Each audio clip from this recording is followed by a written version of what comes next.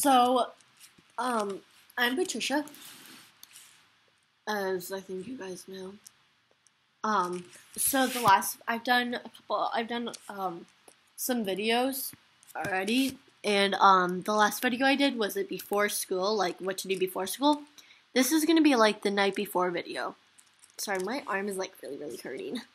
Um, but anyways, so okay. So the night before.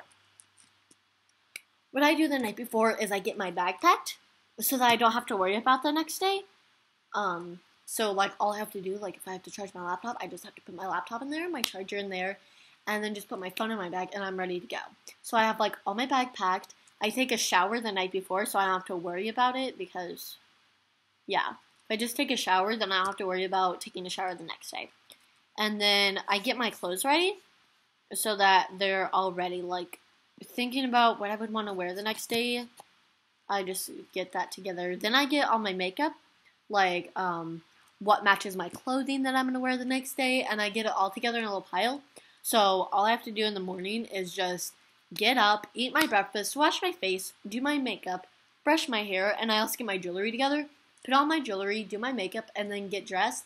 And I just take my bag and I'm ready to go. It's like really simple, like it's just as long as you just pack your bag, take a shower before, get your clothes ready, get your makeup ready, your jewelry, you're all set to go. Now, if you have a packed lunch, because I know some of you guys take lunch with you, if you have a packed lunch, do it the night before. Like, put it in um, your lunch bag and then, like, get your lunch ready for the next day. Put it in your lunch bag and then put it in the fridge so that you don't have to worry about the next day. And then it just stays cold, so it's like it just saves you a lot of time. So pretty much just getting ready for school the next day is just just do stuff that would save you a lot of time in the morning so that you can get up like only an hour before. Like I get up I get up at 6:30. I have to leave about 7:10 and since all my stuff is ready to go, I'm good.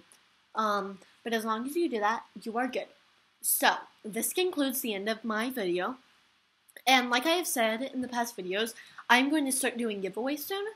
And so all you have to do is you have to be subscribed to my channel, um, following me, follow me on my YouTube channel, send me um, on my YouTube channel, Instagram, send me a message saying, hey, I'm subscribed and I'm also following you. And I'll be like, hey. So then I will have a big jar, your name will go in it, and then I have a personal one that I'll put a personal Instagram.